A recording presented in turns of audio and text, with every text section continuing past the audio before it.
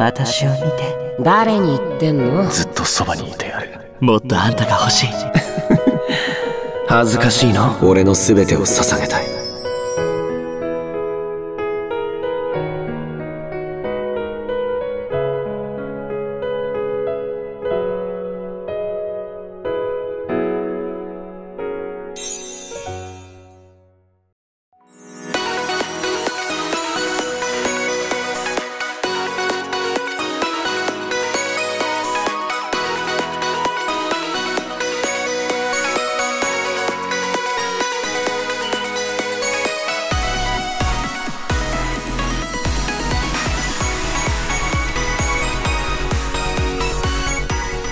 お前の目に俺以外入れるな。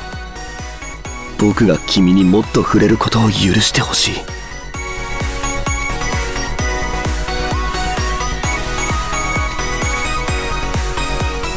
あんたには俺に溺れる気持ちよさを知ってほしいんだ。俺から離れられねえだろ。そろそろ慣れろよ